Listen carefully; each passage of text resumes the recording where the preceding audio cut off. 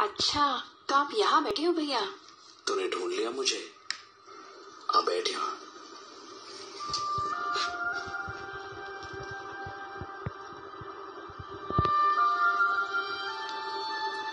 तुझे याद है? यहोवा ने कहा था हमसे कि उसने धरती के सब देशों में से अपने लिए हमें पवित्र राष्ट्र चुना है। ताकि हम उसके अपने लोग और हमेशा के लिए उसकी खास जागीर बन जाए। हाँ इस देश में आने से पहले उसने मूसा के ज़रिए ये बात कही थी। हाँ यहाँ आने से पहले उसने कहा था हमसे कि तुम कनानियों की सारी मूर्तें नष्ट कर देना। पर आज तो लोग और भी ज़्यादा मूर्तों को पूज रहे हैं है ना? जहाँ देखो वहाँ लोगों ने छोटे देवताओं की वेदियाँ खड़ी कर दी हैं। पर आप अपना काम अच्छी तरह कर रहे हो। मगर कोई नहीं सुनता मेरी। मैं तो सुनती हूँ। खैर मेरे लिए तो आप भविष्यवक्ता एलिया जैसे हो। मुझे नाज है आप पर भैया। पता नहीं यहोवा ने क्या देखा मुझ। में ऐसा नहीं है। आप हमेशा यहोवा की बात मानते हैं। और हम सबको आप पर फक्र है।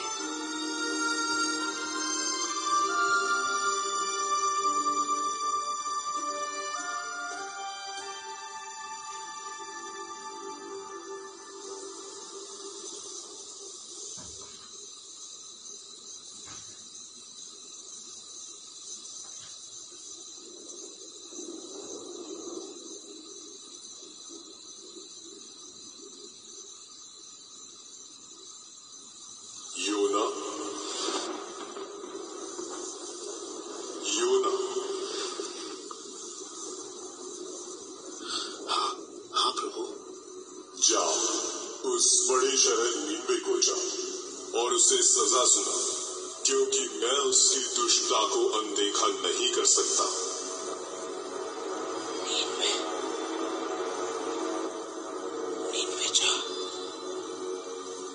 वो तो मौत की सजा के लायक ठीक कह रहा समझ नहीं आ रहा वहाँ क्यों जा रहे हैं। उन्हें समझाना पड़ेगा।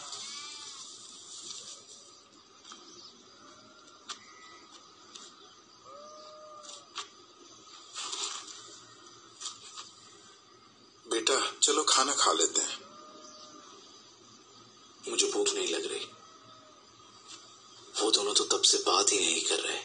तेरे भाई नादान है योना। सुबह सुबह तूने जो खबर दी है ना उसे सुनकर वो परेशान है। वैसे कुछ कहा उन्होंने? इजलिया को इस बात का डर है कि वो मेरी खाल खींच लेंगे। वो तो कह रहा है कि मत जाओ। और मरने दो यहोवा के हाथों। एबेर तो कहता है वो मेरी हरगिज नहीं सुनेंगे। तुम्हें क्या लगता है? अगर यहोवा नीनवे के लोगों को मारना ही चाहता है तो मुझे क्यों भेजता वहाँ? पर एबेर भी सही कहता है वो क्यों सुनेंगे जब इसराइल ही नहीं सुन रहे?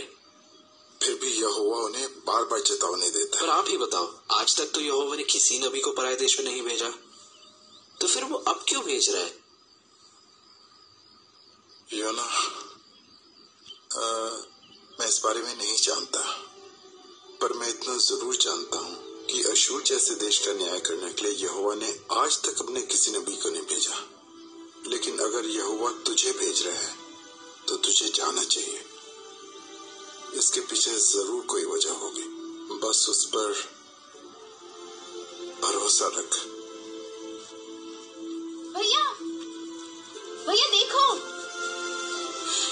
अंजीर लाई हूँ। इनकी टिक्कियाँ बनाऊँगी आपके लिए। काश मैं भी आपके साथ चल पाती।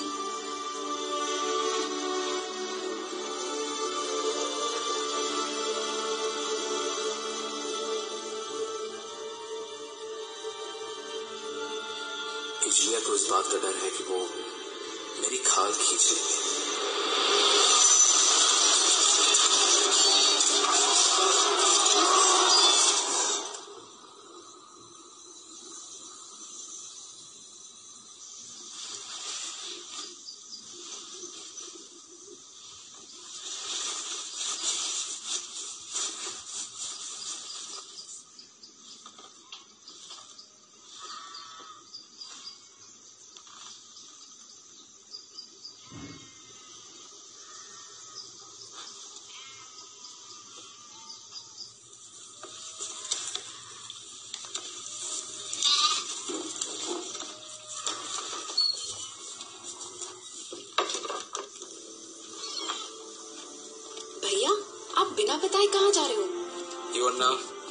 अंदर अरे खाने की चीज़ें तो ले जाओ।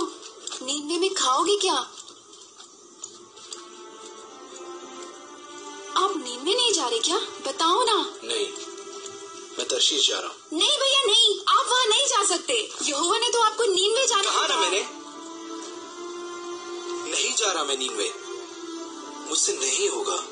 लेकिन भैया आप तरशीश में जाके क्या करोगे? कब लौटोगे वहाँ से? मुझे नहीं पता। शायद कभी नहीं। कभी नहीं? तो फिर नींद में कौन जाएगा? उन्हें यहोवा का संदेश कौन देगा? मुझे नहीं पता। यहोवा को जो करना होगा वो करेगा। पर मुझसे नहीं होगा। मुझमें इतनी हिम्मत नहीं है। यहोवा को भी मेरी ज़रूरत नहीं है। पर हमें तो आपकी ज़रूरत है। आप नबी हो यहोवा के। और एलिया हो मेरे लिए। भूल गए? नहीं मैं कुछ नहीं।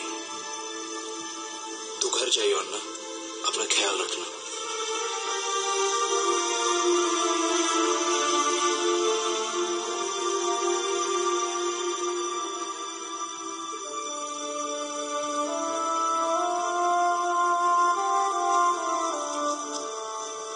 लेकिन अगर यह हुआ तुझे भेज रहा है तो तुझे जाना चाहिए।